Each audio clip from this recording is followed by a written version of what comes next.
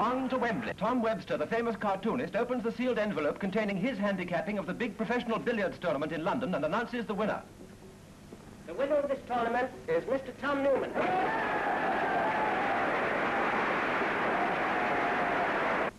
Mr. C.B. Cochran then makes an equitable distribution of the prizes.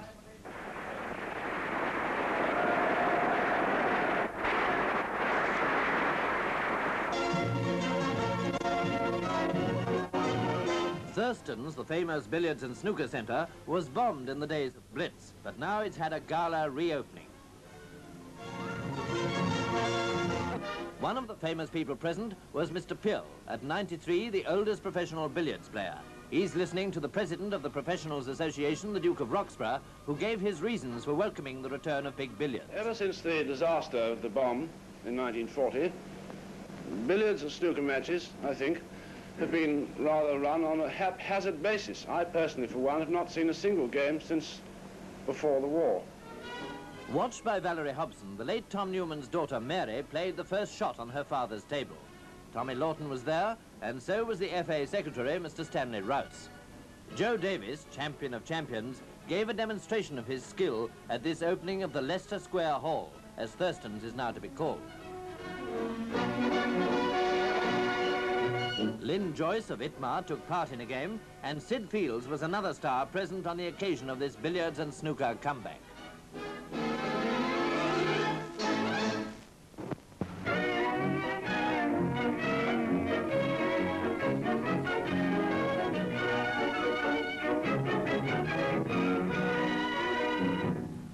Well, you won the championship, Miss Carpenter. Now, what about playing one of those long jennies, which stood you in such good stead during the championship? Well, I'll try.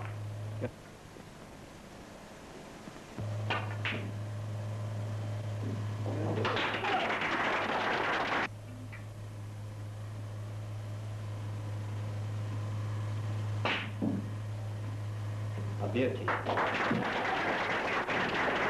Will you give us some of your close cannons now, please?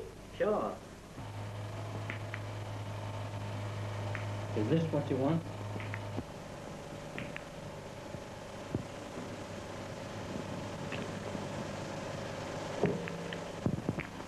Look here, Mr. Movebyton. Have I got to keep this up all day, or do I get some lunch? Well, after all those cannons, Mac, can you do something really clever? What can you make out of this? Well, what about a five shot? Pop the red into the basket and jump into the hat for a cannon.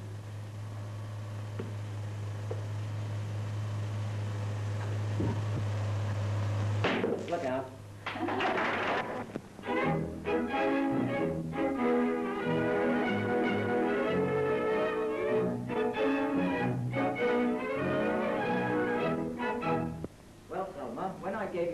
your first couple of dozen lessons a few years ago, I was convinced then that you would one day be a lady champion. Would you like to play this cushion cannon for me, which helps to get a player out of a very difficult position?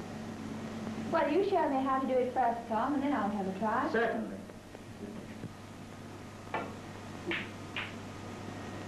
There you are, Thelma. Now see what you can do with it. All right, bottom up.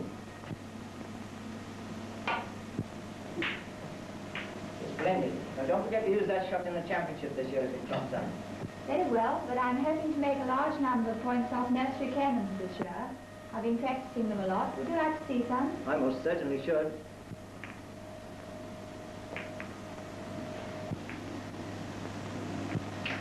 Two, six. That was great, Thelma. I've never seen them play better. Thanks. And I wish you all the best of luck in the forthcoming championship.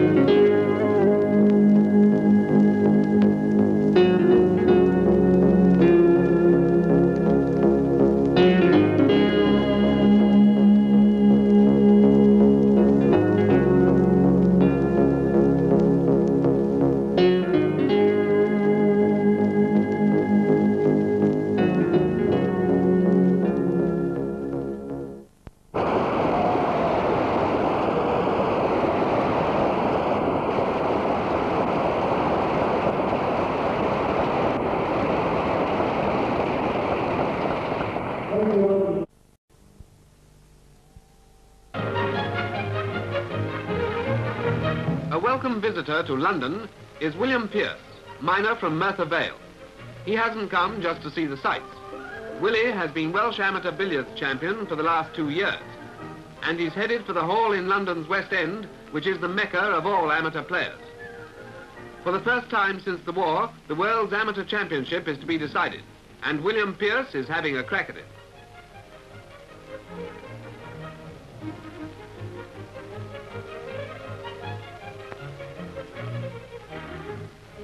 Here he meets Robert Marshall, Australian amateur champion, for a friendly game. In the championships, Marshall beat Pierce and broke three English records in the process. Two of his breaks were over 400.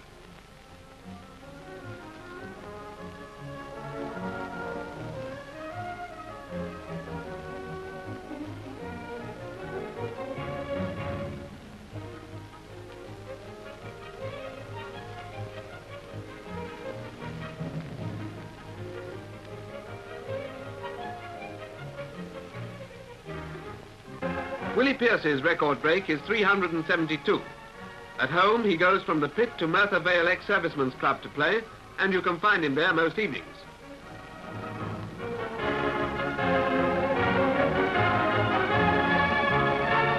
Well played, Willie.